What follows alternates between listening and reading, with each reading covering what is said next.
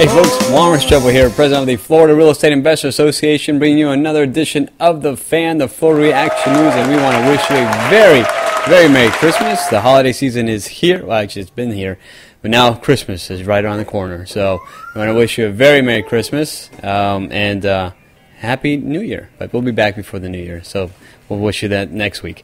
Uh, anyway, what's going on in the news? There's gold in the malls. Did you know that? Yeah, how about that? There's a company that put out a, a ATM that spits out gold. Yeah, it's in the Boca Town Center Mall. Um, so if you want to check it out, you can go get a unique gift. It's at the Boca Town Center Mall. All right, uh, real news here. Daily Business Review reporting a few things here. The government is pushing to keep people in their homes. All right, Geithner reporting that listen, we're doing everything we can. We're putting pressure, downward pressure on the interest rates to keep them low. Um, we'll tell you a little bit about where the interest rates are going right now. Um, here's a, some things that they talk about: their ability, the Treasurer's ability to spend new bailout funds for the central foreclosure um, effort has expired in October. Right, so they they they run out of that. So what they're doing is they're making new programs. You know, we're trying to get new programs to get borrowers in there, especially those that are unemployed. So try to help them out. Uh, Thirty billion dollars in taxpayer funds on the HAMP program. Only about four billion will likely be spent on that program. So that one didn't go too well. Um, uh, the report said that the two-year-old HAMP program won't reach its original goals, and I think we reported on this last week. Um, the, the, Treasury failed to properly analyze the program. It, uh, it is nearly impossible to determine whether it is a success, the report said. Well, I don't think it's the success that they wanted it to be. Again, you're going after banks trying to get them to modify loans that they can't. They're under an agreement to, especially the ones that are backed by mortgage-backed securities. So, um, you know, so much for that. Are foreclosures dropping? Well, report says yes, but I'll tell you why. All right, November foreclosure numbers, they were at the lowest levels in 18 months for foreclosures. All right, but what happened? Well, the foreclosure freezes by the uh, banks that are going through uh, some litigation problems uh, and improperly handling evictions. So that's why you're seeing the drop in foreclosures. Um, banks, year to date, have repossessed about 980,000 homes. So are probably on track to break the million mark uh, by December, even though they have slowed down quite a bit. Um, the 2011 outlook does look to be the same due to the weak economy, high unemployment, and tight lending standards. All right. Uh, also, there's 5 million homes that are 60 days or more past due.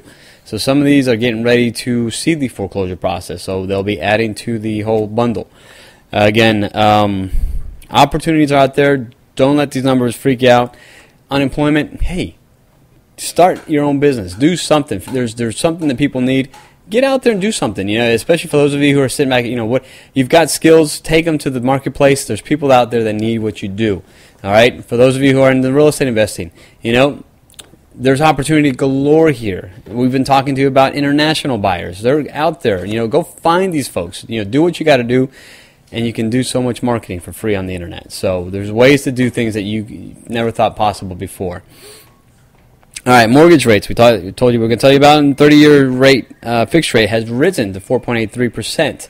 Okay, now Geithner said they're putting pressure to keep this down. They tried to buy a whole bunch of uh, bonds, but it didn't seem to do anything. Uh, the 15-year fixed rate also rose to 4.17 percent. They were at 3.97, and now they're up past the threes into the fours. Uh, refinancing activity has dropped for the fifth straight week, so economists are a little bit concerned about that. This is the fifth straight week of uh, rising interest rates, so they're thinking people say, you know what, maybe I don't want to refinance. It's not as uh, lucrative as it looked like. Uh, housing starts on the rise. Okay, yeah. Construction of single family houses increased 6.9% uh, to a 465,000 rate, the highest level since April. All right while permits also rose by 3% to uh, 416,000 level of applications in November. So, signals that work may slow in coming months, uh, we'll see. Uh, now, work on multifamily homes, uh, such as townhomes and apartment buildings, they've dropped 9.1% to an annual rate of 90,000. This is their third consecutive decline and the lowest level since June. All right, the multifamily permits plunged 23% to a level of 114,000. So, uh, for those of you in the multifamily arena, jump on whatever deals are out there because um, they're going to be scarce. And guess what that means? When building restarts and you've got a good uh, uh, property working right, man, you, your property is going to be mint. It's going to be worth a lot of money. All right, and builders are looking forward to 2011, but they believe that 2012 is going to be their banner year. They are excited about 2012. So, good news. Good news there on the construction side. All right, the Palm Beach Post is reporting a few things. Uh, former Stern attorneys are suing Stern. Yeah, how about that? Um, they got they shafted people. Now they're going to turn on and shaft Stern. Yeah, they they've hired a big name attorney. These guys have made this the firm that they're hiring. They've made 530 million dollars in in uh, litigation. So these guys must know what they're doing. Uh, yeah, they're coming after them. Uh, the lawyers, uh, they're suing Stern, his law firm, and the DJSP Enterprises. So they're going after everything they can. Uh, why are they suing Stern? Uh, they buy, for violating the Workers Adjustment and Retraining Notification Act, uh, which fails to give, which they failed to give them 60-day notice of the massive layoffs that began in September. So yeah, they were at 1,200 they've laid off, gosh, seven or nine hundred people there. So that was a lot of people in a very short span of time. So that's what they're going after for. Is there an attorney in the house? Have you seen what's going on in the foreclosure sales on on the auctions? It's it's crazy. Former uh, Stern cases, you know, uh, the ones that uh, David Stern's office was handling, have uh, are still going uncontested at the courthouse online. Okay, so people that are get, think they're getting steals are really not deals because they haven't been following proper protocol uh, to be able to go through the sale, the foreclosure sale. So um, these people are really, you know, not getting the steals that they got. You know, it's two hundred dollar deals, one hundred fifty dollar deals, um, not happening. So just a mess. So we'll see what happens. Uh, this is just gonna confuse people and just mess things up for a while. Uh, yeah. So tis the season, right? No deal. Anyway, all right. Miami Dolphins update. Oh my gosh, was that a bear of a game to watch? Henne, another. I mean, more interceptions. Uh, I mean, and we lost to the Bills. They've got the worst run defense in the world, and we've got some great running backs. You know, how, how did we lose this game? You know, and uh, I mean, even Golden Foot had a, bad day. You know, he missed all the field goals. He had four field goals. I think they were over 40 yards, all of them. Missed them all. Uh, but we can't blame him man has come through for us in the past like never before, and, and unfortunately the the offense didn't come through for us again. So um, what are we gonna do? We got a couple more games. We got the Lions here this week this weekend on 26th at 1 p.m. So see how they pull that through. Uh, but uh, speaking of the Dolphins games, well, know. we won't speak anymore about that. But anyway, what's going on at the Florida REIA? Hey, don't forget Real Estate Opportunities webinar every Tuesday with Sharon at 12:15 p.m. You can catch a replay at 32westrealty.com if you didn't get a chance to check it out. Hey, but don't be late. You don't want to be waiting until the uh, the the the, the pre um, the recording because then the deal might have already been lost. Somebody was watching it live. uh, the new Florida REIA site coming soon. It should be up in the next day or so. So we are excited to launch the new site. So check it out, FloridaREIA.com.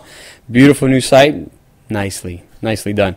Uh, our elite conference call is on January 4th, so elite members, don't forget to register for the elite conference call on January 4th. And then our Don Juan socials are coming back. That's right, we are launching our new Don Juan socials in January, and our first one is the Tri Club social. For those of you who like to work out, uh, you're runner, biker, swimmer, whatever it is, you like health, nutrition, we're meeting at the Nature's Way Cafe on uh, Saturday morning, January 8th at 8 a.m. No cost to you. Just come on out and join us for that as we get together and um, just learn from one another about uh, what we like to do and take care of ourselves. And then on January 20th, our big premiere, double premiere extravaganza with Frank McKinney. Uh, that is January 20th. and then on Saturday, January 22nd, let's make a deal awesome workshop. People love it. it is one of the uh, top rated workshops that we have. And then our elite membership is open up for a one time, once a year opening to register for that to sign up. It's January 24th is our elite breakfast, and also Frank McKinney will be there as our keynote speaker.